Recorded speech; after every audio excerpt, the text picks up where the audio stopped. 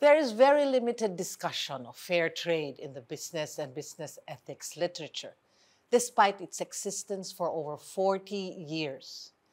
Fair trade is a social movement that adopts a people first approach to trade. It is a term for an arrangement designed to help producers in developing countries achieve sustainable and equitable trade relationships. After 40 years in Europe, the fair trade movement was launched in the Philippines October 2015.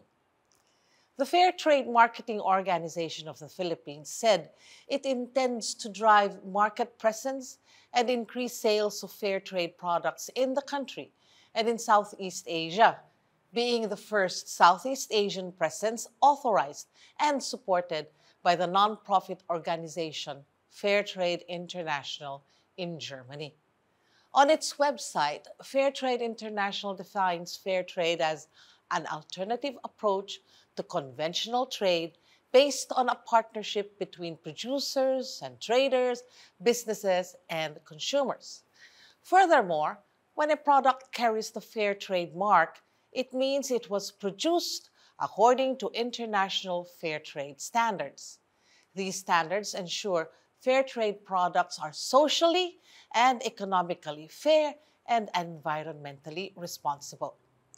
The fair trade movement combines the payment of higher prices to exporters with improved social and environmental standards. Ethical trade also refers to international trade that aims at preventing the injustices of global trade, such as child and low paid labor, pollution of the environment, infringement of human rights, and the inequalities in development caused by globalization. As the certification becomes more popular, more and more consumers are aware of the concept, but many seem to have only a surface understanding of the concept as a whole. To be fair trade certified, a product must be produced by a farmer, cooperative, or workers that meet certain standards set by the Fair Trade Labeling Body. Currently, there are over 11 certifiers internationally, each with its own standards. These standards vary slightly, but basically require that first, workers receive a fair trade minimum wage. Second, environmental sustainability is upheld. Third, safe working conditions are provided. Fourth, there is no forced or child labor. Fifth, premiums are given to producers based on the product they create. Sixth, these premiums go to a communal fund to be used for development projects. And seventh, the supply chain is transparent to consumers. At present, fair trade is an unfamiliar business concept in the Philippines, according to Fair Trade Philippines President Alejandro Florian Alcantara. Fewer than 100 out of 30,000 fair trade products globally are sold in the Philippines. This accounts for only 0.003% of the global fair trade. The perceived size of the potential domestic market shows there exists a huge market opportunity for fair trade products. However, it is untapped today because of zero awareness. According to Dr. Reynaldo Bautista, Jr., Associate Professor at the Ramon V. Del Rosario College of Business, De La Salle University, fair trade has been in the Philippines for several decades.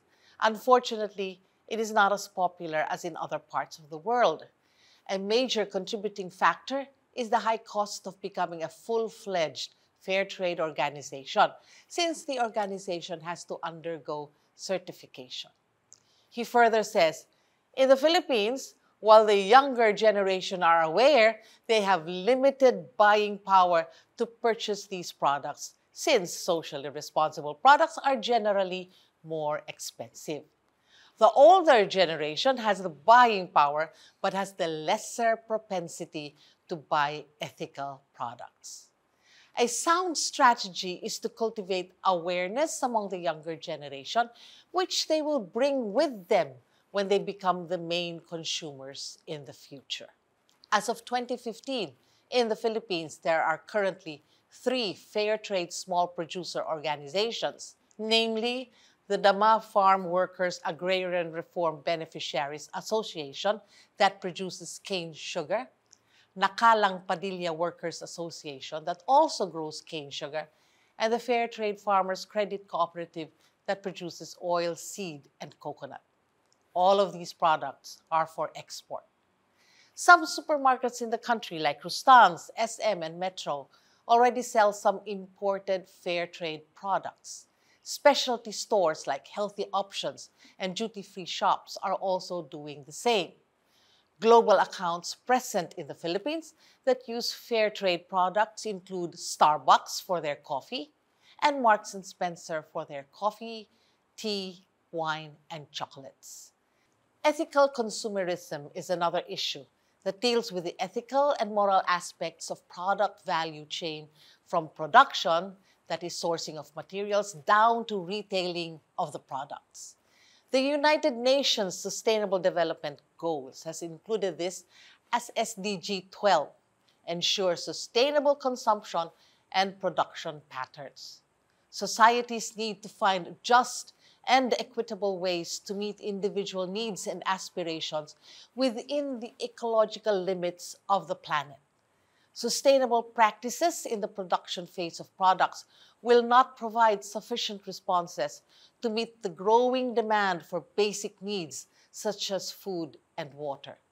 Consumption patterns need to be made sustainable and reduce their ecological footprint to allow for the regeneration of natural resources on which human life and biodiversity depend. The ethical consumer ideal implies that individual consumers can have a significant role through their daily purchasing decisions in promoting ethical corporate practices. Products that make sure that all the stakeholders in the value chain are treated fairly contribute whether a product is considered ethical. With the rise of environmental issues such as global warming, flooding, landslides, we see communities struggling to survive and become easy targets of some companies to make their products more affordable. Ethical consumerism is a system aimed at addressing these issues. Businesses are fast recognizing that consumers care about how the products they buy are manufactured. So we see manufacturers espouse clean, green, and socially responsible on their products. When you buy from a fair trade producer, you also invest a small amount of your money in that local community via a fair trade premium. There are many producers, farmers, fishermen who live with no basic amenities like housing or toilets. With fair trade, operatives provide a fair price for farmers' produce while reinvesting revenues back into local businesses and community development initiatives, including housing, healthcare, education, leadership training, and women's programs. So where does that leave the consumer? If you want to create the most impact, do you try to support large companies that help a lot of people a little bit or try to buy products from companies working in local communities at a small scale. Ultimately, the choice is up to you. And the more research you as a consumer does before purchasing a product, the better you will feel. Being actively engaged in your purchasing is the best way to create impact because you will be able to know without a doubt that you are helping someone on your terms, not the market's.